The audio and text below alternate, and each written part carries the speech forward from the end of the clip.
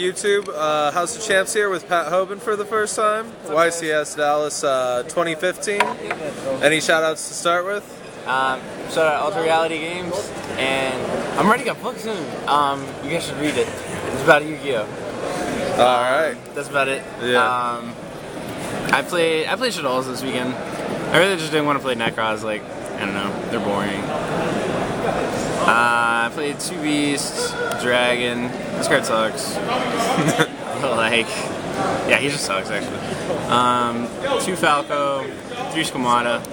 This Squamata's the best one just because you can, um, when you infuse into construct with them, it's an El Shaddoll and core and like search El Shaddoll from your deck, so it's kind of broken. Um, these two. I played the clowns, but like I didn't play Hat Tricker just because it always like made my hand worse. Like I like being able to search it, sure, but like whenever you just straight draw it, it's usually not very good. Plus I didn't play the Earth Fusion, so I can guess why I didn't play the Earth Fusion. uh, BLS, and then I played Blazeman, Raiden, and um, Photon Thrasher with uh, two Rotas to go get them. And the, uh, the idea behind this is like you have the six fusions, but like if you only play six, then you're not gonna draw one a fair amount, and the deck kind of sucks if you don't have a fusion card. Um, so like I wanted to have more. Um, so I played all of these cards because then it's like having four extra fusions. But then when you have the um, when you already have a fusion, you can just go get uh, one of these cards off the Rota. So like your hand doesn't get clogged from having too many fusions. Um, and then Raiden's cool. Uh, I played Stardust. Um, he's just a light that starts above Rota, which is another big part about Photon Thrasher, is just being a light. Um, Photon Thrasher is actually one of my favorite cards, just because you can make uh, Tsukiyomi and Minerva when you don't have uh, But usually, actually, with between the Rotas and the Blazeman and uh, Poly, you usually can get to the first one pretty consistently. There are like maybe two games I just never drew a spell this weekend, so that's pretty high, I guess. Um, I played three instant fusion. Um, this card's cool because it summons a Winda too, so like you don't have a Shaddoll in your hand, but you have like a fusion on a light. You can just randomly make construct. Plus Norden's good. Um, foolish. I played three upstart. Got to get to fusions and uh, refusion. Um, card's like premature, um, but it's kind of better because like when you summon back the um, uh, the construct, it's not negated by Colossus and it's not negated by Unicorn. Um, they can't bounce over Brio, so like it's just really good.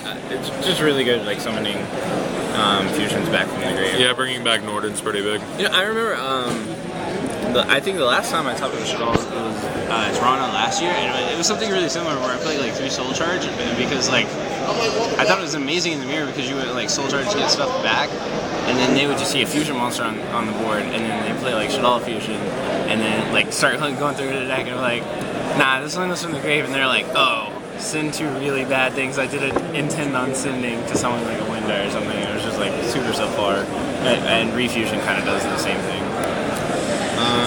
Then for the traps, I just played uh, Core, Vanity, and three Breakthrough. I, th- I actually thought about not playing this just because um, you set Falco off most of your Shaddoll plays, and then so like if you have Vanity set behind it, it, it kind of sucks there.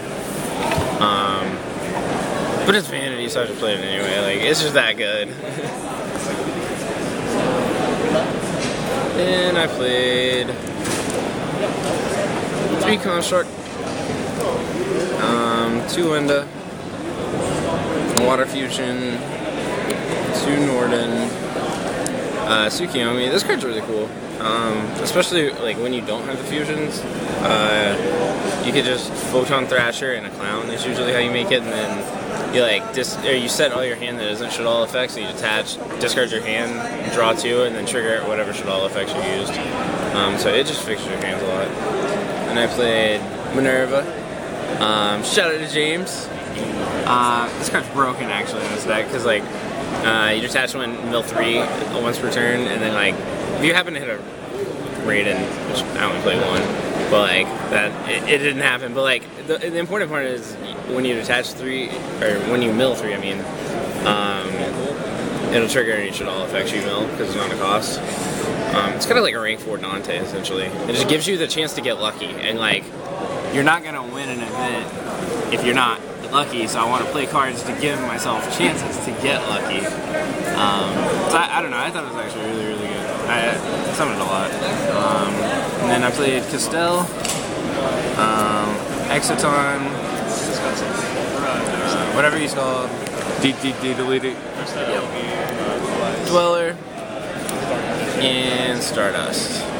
Uh, Stardust is just because like I, I definitely wanted a synchro to play in general because like Falco is a tuner, but the thing is like you don't actually ever synchro with Falco.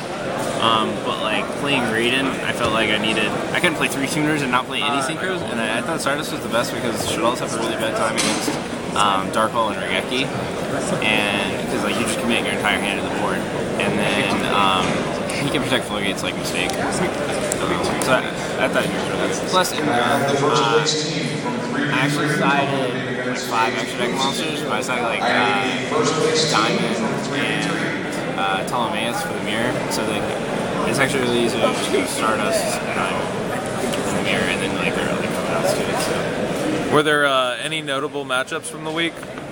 Um, I played against like three of the PsyFrame decks, and Dang. that deck's, that deck's actually really crazy. Like, I, I played three of them in a row, and I spent like the first like literally half an hour figuring out what it was, what was going on. And I lost game one, and like by the time I figured it out, like so much time had gone by, and then like when I, I won in game two, but then like we ended up drawing. It was like it just took so long to figure out what was going on. But then I played two more, but then like at that point I had Yeah. previously played that guy, and I, I, I had figured it out by that point, so I won the other two. Um, Denko Sekka, this card's good. Um, Puppet Plant is just to take the um, Nekroz cards and make the Water Fusion. Uh, Dragon for against the non-Nekroz decks. Two MST. Um, I, don't I, don't think Shaddolls really needs MST outside of like lose a turn and skill drain. But, like I didn't want to just like commit to losing to him, so I sided MST. But I probably have sided against like decks that couldn't play those cards. Mind control probably should have banned it. Like it's kind of good across the board, but like. I mainly wanted it for the mirror and against Nekroz, just taking me water fusion but um, it's pretty solid. I, I could see banning it. The- I don't know. The thing is, I don't like cards that like have to um, like deal with uh, that are forced to deal with like what my opponent's doing. Like I don't want like cards like Econ or something. I want a card that like I play it and it, it, it gives me cards no matter what my opponent's doing. Like this card only like puts me ahead if my opponent's doing something.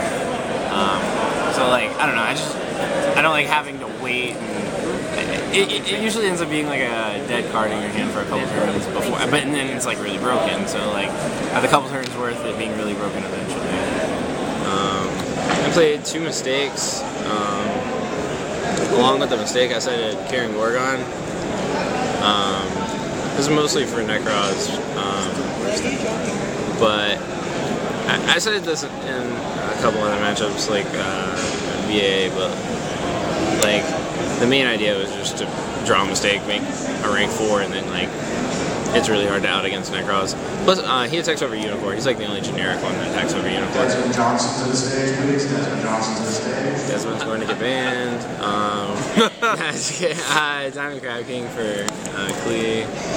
I cited um, Diamond and the other thing for the mirror and Burning Abyss. It was mostly for the mirror though because you could just put up Stardust with Diamond, um, and that's pretty hard to out. And then the second Water Fusion was the other card.